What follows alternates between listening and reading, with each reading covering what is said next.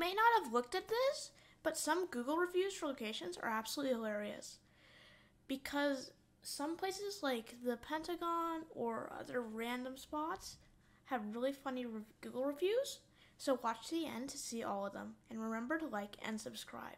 The first one is the National Fire Dog Monument in DC. But the other ones are also crazy. So there, I'll read the memorial and see what it's actually about. Very great, very great, very great reviews.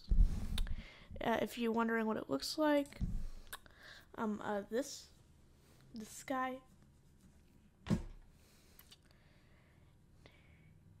The next one we have is Ohio Bridge Drive in DC. Oh, let's let's let's let's see. Let's not miss the Bridge Guardians. Yep, looks good. Beautiful. Oh, one that the most funny ones are is the is the shops in the Pentagon. We got like CVS. Let's look at the reviews. Just let's see, where is it? One star. Went for some Advil, but after what the federal agents did to me, I'm gonna need a lot more of it. Let's go look at the Dunkin' Donuts. These are great. Let's start by lowest. What do people not like? One star. Dude, what? I got jumped by men in suits because apparently it's illegal to escape my federal detention? They looked like.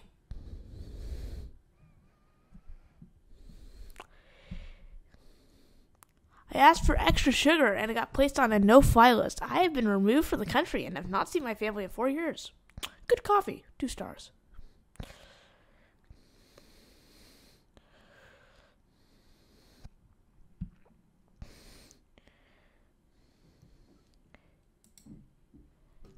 Good food. Didn't like the war crimes though.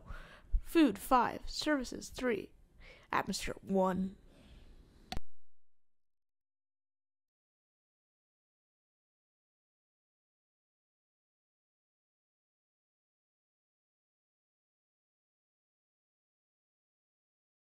Okay, now we'll be looking at Tiananmen Square, some of the greatest locations. Wrong tab. Let's see. Hmm, where's a good one? We got. Nothing happened here. A couple students showed up, but other than that, it was pretty normal. This the square next to it was great, but a little hard getting a walk with all the bodies blocking the way.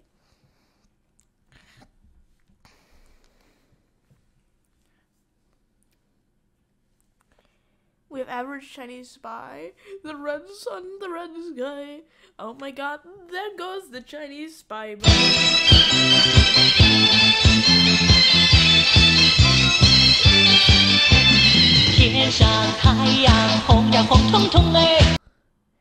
Don't forget 1989, 6 4. Oh, another date you shouldn't forget. Uh, one date that starts with a number below 10 and above 8. There was a tree that survived that incident, and here's one of the reviews for the tree.